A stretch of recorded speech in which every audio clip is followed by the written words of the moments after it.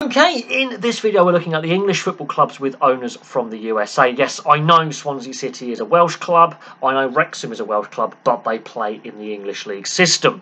Now, in total, there are 23 clubs from the National League all the way up to the Premier League that I could find with American money in them, with their, with their ownership groups or investment. Half the Premier League, that's 10 clubs in the Premier League, have American owners or part owners.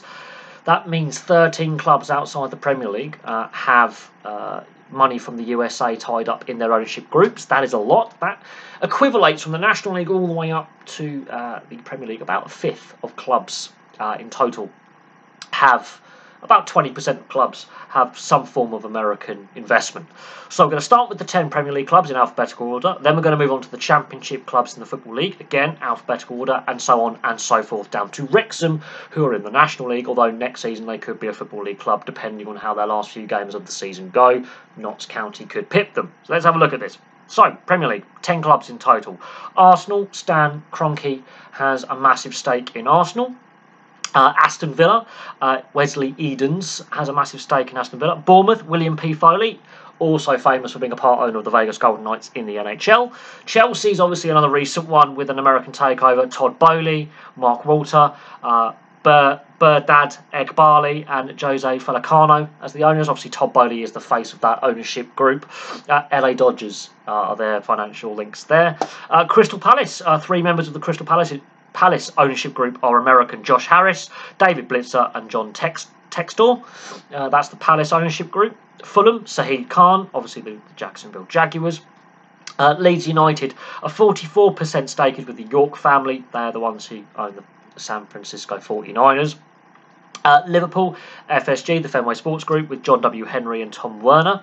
Um, Manchester City, 18% of their ownership is with the Silver Lake Consortium, uh, so it's not all Abu Dhabi money in Man City. And Manchester United, obviously, with the Glazer family, who also own the Tampa Bay Buccaneers. So that's 10 out of the 20 Premier League clubs have American money tied up in their ownership.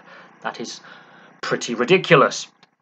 And then we get to the, the, Football League and the Championship. So this season in the Championship, although Burnley have got promoted as champions, Burnley, ALK Capital, uh, that's an American consortium that own them. Millwall have American money. Uh, John Berylson and Richard Smith are the joint owners of Millwall. Uh, Norwich City, it's not just Delia Smith who owns Norwich City. Uh, Mark Attanasio has an 18% stake in Norwich City. And Swansea City with Stephen Kaplan and John Levien, 68% uh, of the ownership uh, at Swansea City is American money. That's four clubs in the Football League Championship. Football League League One, six clubs.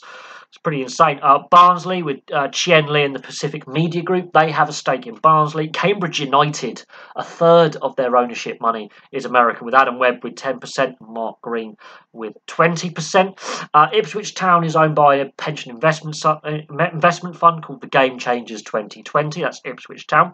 Uh, Plymouth Argyle, the majority stakeholder there is Simon Howitt. Portsmouth, uh, Michael Eisner owns Portsmouth. Wycombe Wanderers, 75% of Wycombe Wanderers is owned by Rob Couhig. League Two, there are two clubs in League Two for this season that now have American money. Gillingham with Brad Galinson's uh, ownership and Sutton United with Gary Otto's investment there. He's a partial stakeholder. And then finally, Wrexham with Rob McElhenney in the National League um, alongside Ryan Reynolds, the Canadian actor, Rob McElhenney, the American actor. He has a 50% stake in Wrexham. So that's 23 clubs in total who play in the English league system with American ownership. Uh, that is a fantastic amount out of the hundreds of clubs in the non-league and the Football League and the Premier League that compete in the English league structure.